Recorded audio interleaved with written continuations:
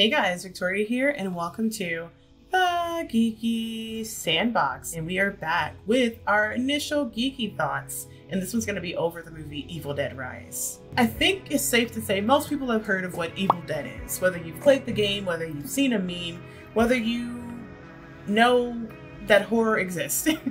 Evil Dead Rise was a movie that I was actually pretty terrified to go see. One of my best friends, Carolina, was talking about it, and she and her boyfriend went to see it, and she was absolutely terrified. And I was just like, no, there's no way I'm going to go see it. And usually, uh, Steven and I go to see most movies together, but there are some that I go and see on my own because I love my movie time. And also, I am more of a horror fanatic than he is. I knew Evil Dead Rise might be one of those movies that I would need to go see by myself. So one night, a night, I went to go see Evil Dead Rise and I don't know. Here's the thing, I had fun watching it and I would definitely recommend everyone go see it for a really good scare. But I don't think it was as scary as I was expecting it to be. But that doesn't take away from what they were trying to achieve. So let me talk about it really quick. My five things that I think you should know about this movie. One, they didn't hold back.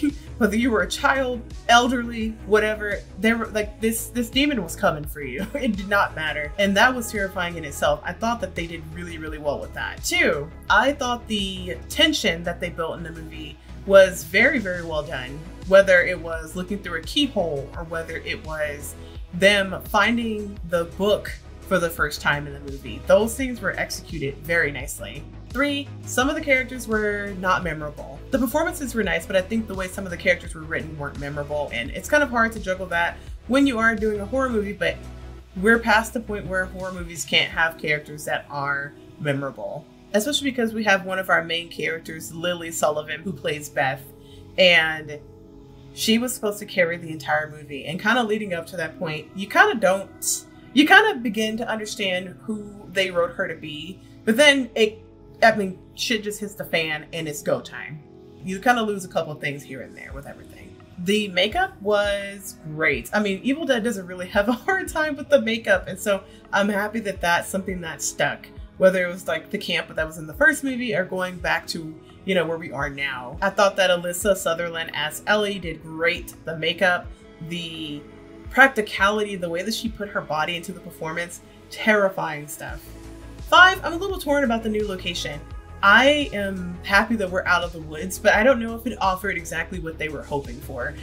I think maybe the new setting was supposed to offer something maybe fresh. I want to know your thoughts. Have you seen Evil Dead Rise? My feelings are a little mixed. I thought it was better than the 2013 one for sure, but I think it was kind of like average. It didn't do as much for me as I wanted it to do, but I was still thinking about some of the scary parts of the movie when I went home. But yes, guys, if you like this video, go ahead and give me a like rating down below.